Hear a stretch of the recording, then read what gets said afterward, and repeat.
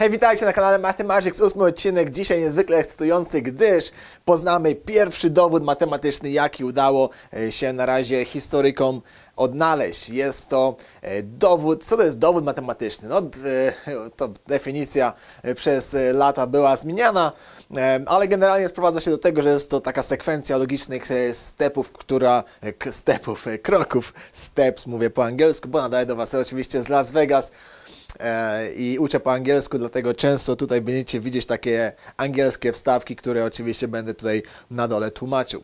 E, Także taki e, ciąg logicznych e, kroków, które są em, no, nie, niezaprzeczalne, które prowadzą od e, hipotezy do jakiejś konkluzji. To jest e, dowód e, matematyczny w największym e, skrócie i jest to taki budulec matematyki. Jest to coś, co oczywiście matematyka przed pierwszym dowodem istniała jako tako, jako właściwie obliczenia.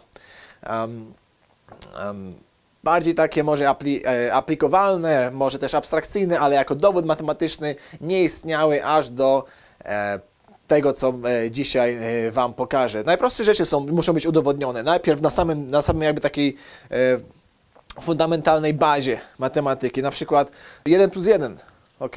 Byłem w liceum, e, byłem w liceum i oczywiście, i co to jest 1 plus 1? Wszyscy mówią 2, wow, brawo, nie? Masz e, gwiazdkę dobrego ucznia. E, Później poszedłeś na studia wyższe matematyczne i znowu profesor się pyta, ile jest 1 plus 1 i wszyscy mówią, o, co z niego jest za joker, co z niego jest za kawalarz. Już kawałami sypie na pierwszym wykładzie. No oczywiście, jakiś tam się znalazł, mówi 1 plus 1 jest 2, panie profesorze. A on mówi, okej, a teraz tu udowodnij. I właśnie o to chodzi w matematyce. Najprostsze rzeczy muszą być udowodnione. 1 plus 1 jest również e, twierdzeniem udowodnionym. E, O tym kiedyś Wam powiem, bo jest e, fajny dowód z XX wieku o 1 plus 1. Um, to na pewno kiedyś w przyszłości Wam powiem, pokażę, zobaczycie ciekawą rzecz, ale dzisiaj cofamy się do 600 roku przed e, Chrystusem, e, do e, Greka zwanego Talesem e, z Miletu. To on ma kredyt, czyli to jemu się przyznaje pierwszy dowód e, matematyczny, jaki znamy w historii, Thales e, z Miletu i dowód e, ten e, mówi, że e, okrąg że średnica okręgu dzieli okrąg na dwie równe połowy. Na dwie równe połowy. To też trochę głupio brzmi, prawda? Daj mi połowę jabłka. Nie tą, tą większą połowę. Połowy powinny być równe. Oczywiście jest język taki e, zwykły, um, codzienny, którego używamy, gdzie używamy, nadużywamy takich pojęć matematycznych jak nieskończoność, jak połowa i tak dalej, ale jest język matematyczny. E, więc e, jeszcze raz, e, udowodnimy dzisiaj, że średnica dzieli okrąg na dwie połowy. Już nie musimy mówić e, równe połowy. Więc najpierw musimy mieć okrąg. Najpierw musimy mieć okrąg, żeby to udowodnić. Jak zrobić okrąg? No, okrąg nie był zdefiniowany, o ile wiem, aż do e, Euklida. Euclid. Euclid mówimy po angielsku, a po polsku mówimy chyba Euklides. Euklides był długo po Thalesie, ale definicja Euklidesa e, jest trochę skomplikowana. Generalnie sprowadza się do tego, że e, okrąg jest to zbiór wszystkich punktów jednocześnie czy równomiernie oddalonych od jakiegoś takiego stałego punktu nazwanego centrum, czyli środkiem, prawda? Po angielsku jest to zwykle e, C jako center, center, czyli środek. No i teraz potrzebujemy zbiór wszystkich punktów równomiernie oddalonych od centrum, prawda? Do tego będę potrzebował jakiegoś e, zaawansowanego przy, zaawansowanego przyrządu kreślarskiego. O, to może się przydać.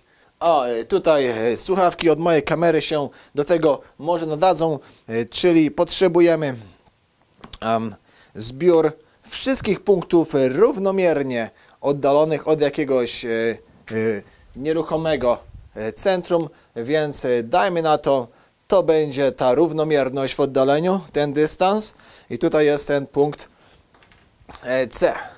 Jeszcze raz powtarzam, wszystkich punktów, czyli co? Ten punkt, ten punkt, ten punkt, ten punkt, prawda?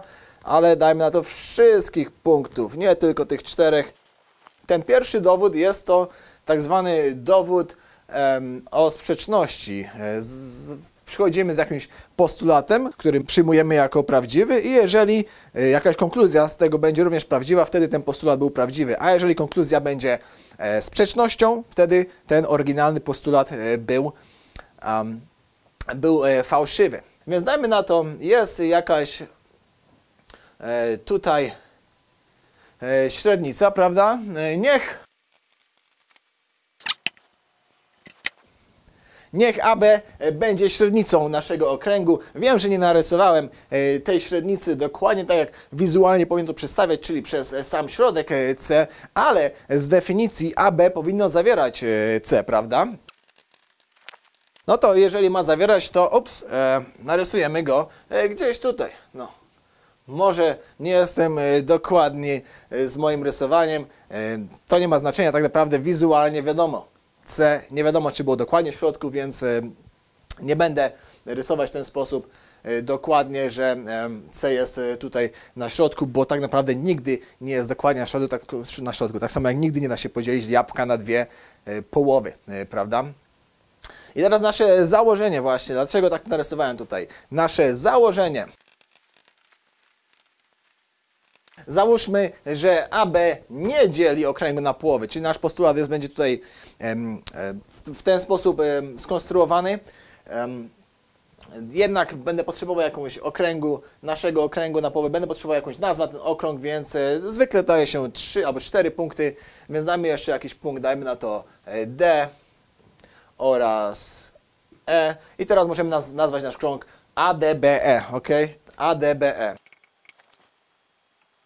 Ok, e, trochę bardziej e, formalnie. I teraz, e, jeżeli założymy, że AB nie dzieli okręgu na połowy, to znaczy, że jedna część, jedna, jeden, nie chcę nazywać półokrąg, ale jedna ta część tutaj tego okręgu będzie większa niż ta druga. I wizualnie można by powiedzieć, że ta część ADBC,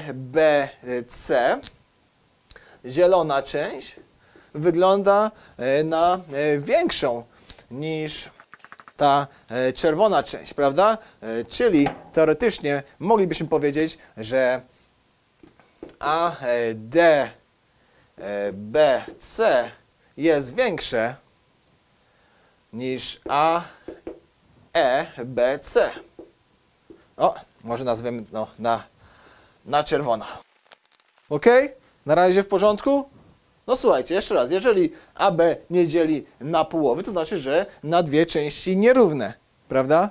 Nie, dwie nierówne części, to znaczy, że jedna musi być większa niż druga, dajmy na to, że e, ta jest większa niż ta, ok? Jak na razie w porządku? Wszyscy są ze mną? Ok, i teraz e, jest e, tak zwany juice, juice, soczek, a, e, juice, e, to najważniejszy, najważniejsza część e, dowodu. Jeżeli to jest prawda, jeżeli rzeczywiście ADBC jest większe od AEBC, e, wtedy musi się znaleźć jakaś średnica przechodząca przez C. Dajmy na to, o mamy punkty akurat DE, więc no po prostu możemy połączyć tutaj DE, o akurat jest średnica, bardzo ładnie. Oczywiście to nie musi być akurat e, ta średnica, ale musi być gdzieś, przynajmniej jedna musi się znaleźć e, średnica e, taka, że, która zawiera C, taka, że DC będzie większe niż CE. Rozumiemy? E, musi się znaleźć taka, taka średnica zawierająca C, e, że będzie ten dystans będzie większy niż ten.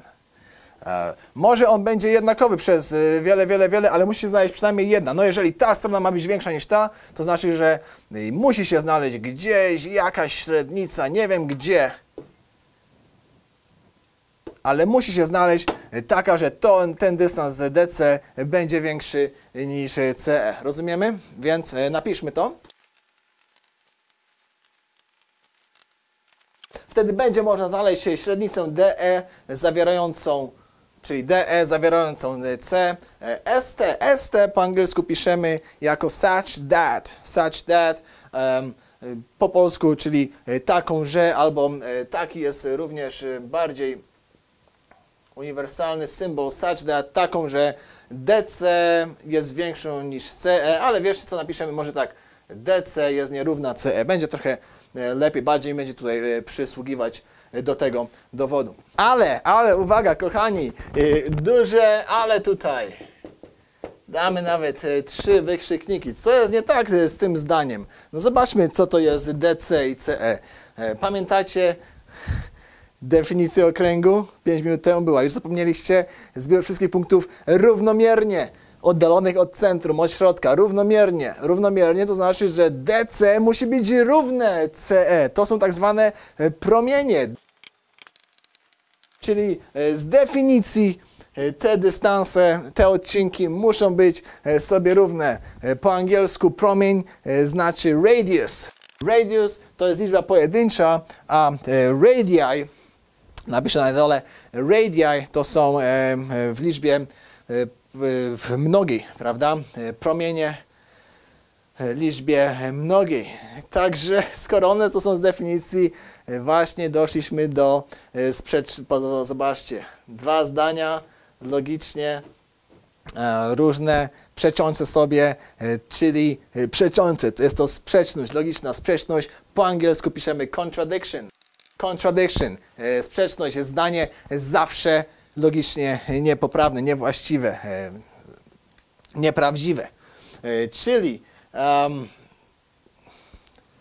doszliśmy do sprzeczności, która stwierdza, że nasz oryginalny pierwszy, że pierwszy postulat był niepoprawny, to znaczy, że AB nie dzieli okręgu na połowy, to znaczy, że zdanie logicznie odwrotne do tego jest prawdziwe, czyli że AB, które średnicą okręgu, musi dzielić okrąg na dwie połowy. Nie ma innej, nie ma innej drogi. Ok, podobało Wam się?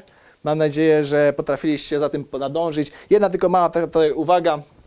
Teraz jak na to patrzę, e, to pewnie, jeżeli byście chcieli coś takiego pokazać swojemu profesorowi albo e, gdzieś, pewnie byście musieli napisać, że AB jest po prostu różny od, a, zielona część jest po prostu różna od tej czerwonej, a nie niekoniecznie większa. To też zależy od profesora waszego, czy jest jakimś twardogłowym e, gościem, czy może bardziej elastycznym. No ale jeżeli chcecie formalnie trochę mieć to lepiej zrobione, to może e, to zdanie jest lepsze. Ono trochę implikuje to zdanie tutaj. Ok? Więc to tyle, kochani. To są dowody matematyczne. To jest e, to, co dzieli matematykę od wszystkich innych e, dziedzin nauki, e, gdyż, no cóż, można tutaj powiedzieć o fizyce, chemii, biologii i innych. To są wszystko jakieś modele, to są wszystko jakieś przypuszczenia. Żadnych dowodów tam oczywiście nie ma, jest tylko eksperyment i najlepszy model, który im się uda złożyć sklecić. Najczęściej pytają o to właśnie matematyków. Więc em, matematyka, kochani, jedyna rzecz, którą możecie być absolutnie pewni, jedyna rzecz, jest prawdziwymi dowodami, coś, co podnosi inne nauki na wyższy poziom, y, sprawia, że trochę bardziej stają się precyzyjne. To, że sprawia, że alchemia staje się chemią na przykład, prawda? Tyle, kochani. Ósmy odcinek to oczywiście 8 pompek. Y, Wiszę Wam wszystko w szczytnym celu tysiąca e, subskrybentów e, przed setnym odcinkiem. Ok, trochę kamerę odstawimy tutaj jedziemy. Liczymy razem. 8.